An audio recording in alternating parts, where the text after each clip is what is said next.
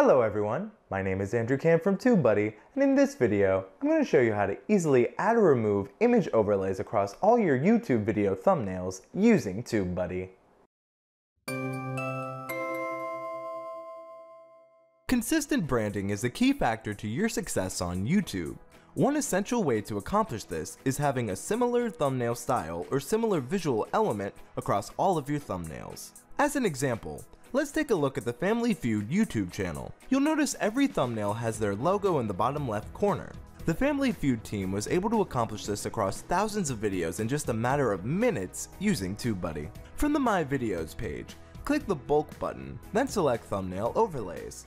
In the first step, you will choose if you want to add an image overlay or remove an existing overlay. You can either upload an image from your computer or enter a URL on the web. Make sure that it has a transparent background and that the size of the image is either 1280 by 720 or 1920 by 1080. Click continue. Choose what videos you'd like to apply the thumbnail overlay to, just like all the other TubeBuddy bulk tools. You can double click on any image to get a preview of what the thumbnail will look like with the overlay on top of it. Click continue, then confirm, and then the image overlay will get applied on top of your selected thumbnails.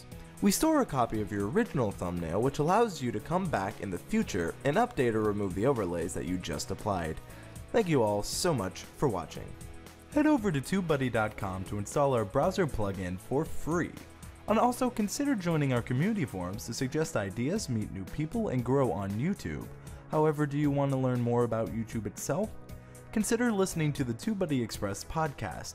A link to all of this will be in the description below. And then finally, subscribe to our channel to get the latest TubeBuddy tips and tricks. I'm Andrew Camp from TubeBuddy, and thank you all so much for watching.